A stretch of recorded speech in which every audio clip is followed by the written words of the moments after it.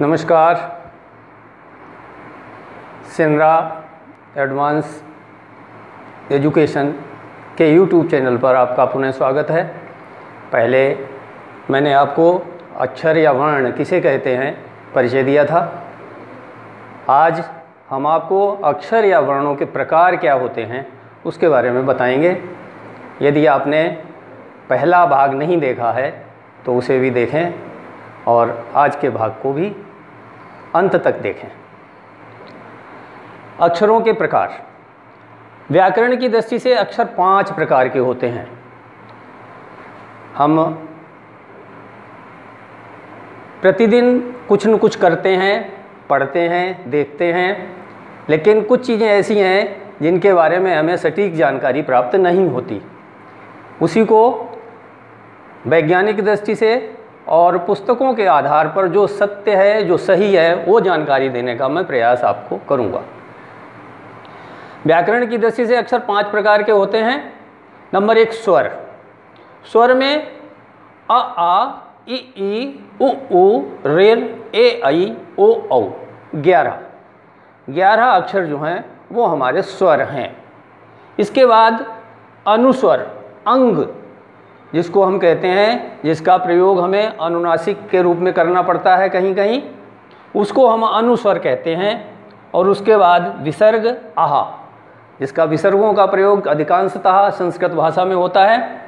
उसके बाद हमारे व्यंजन हैं, का, खा, गा, घा, उआ, चा, छा, जा, झा इया टा, ठा, डा, ढा अणा ता था दा, धा, ना, पा, फा, बा, भा, मा, या, रा, ला, वा, शा शा, सा, हा और संयुक्ताक्षर हैं श, त्र, ज्ञ।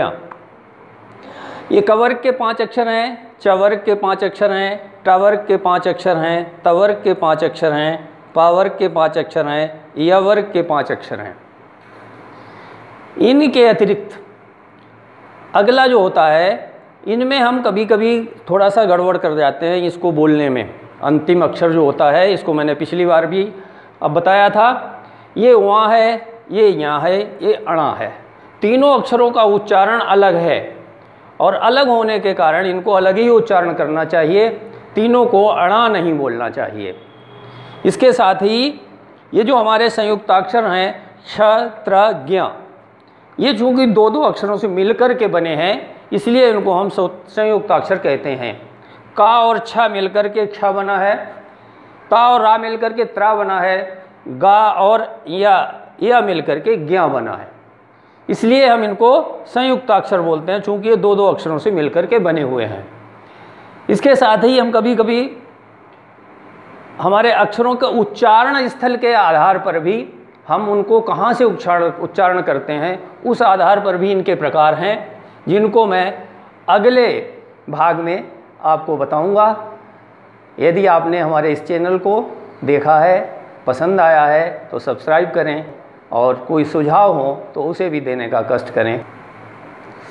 नमस्कार। जैसा कि मैंने कहा था